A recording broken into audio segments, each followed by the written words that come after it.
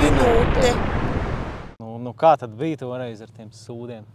À, tas, tas bija labs stāsts. Nu. Tur bija tā, ka es biju pie tās lokomotīvas, tur, jā, tur pie tās riepas. Jā. Un man reāli gribējās ēst, un skūters reāli riep cauri. Un desmit minūtes līdz mājām pa, pa, pa ilgi bija. A, kāpēc tu nevarēji uzreiz līdz mājām? À, nē, nu, tāpēc kā man atslēga nebija. Un es izdomāju ēst sūdu pie uh, vilciena. Pagaidā, tu man gribi pateikt to, ka tu dzīvo tepat netālu, un tu mm. izlēmi ēst šeit sūdu, ka tu varēji tur normāli ēdienu paēst. Jā, Ah. Okay. nu, man atslēga vienkārši nebija. Mamīts, vai? Nu, cel, cel, es netraucēšu. Halo? Ej, dēliņ, tev nahuj pie omītes vajag aiziet. Ā, tu tagad?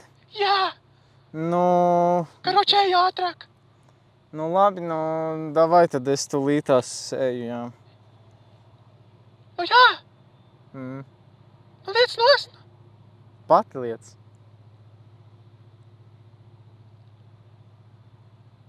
Oh, Man jāiet pie omas ir. Oh.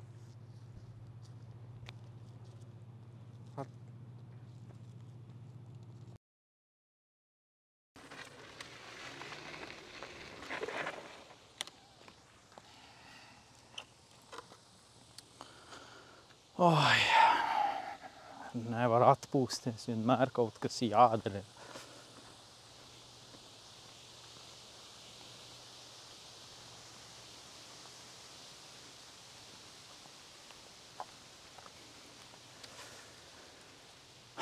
Nu, čo, Volmīt?